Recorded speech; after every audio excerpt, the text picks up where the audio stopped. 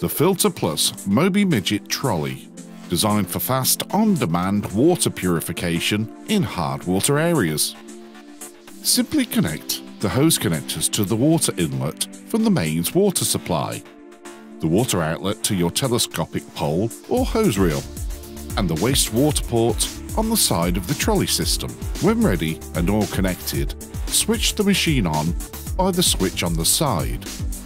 Replacement pre-filters can be changed by simple removal of the pre-filter housing.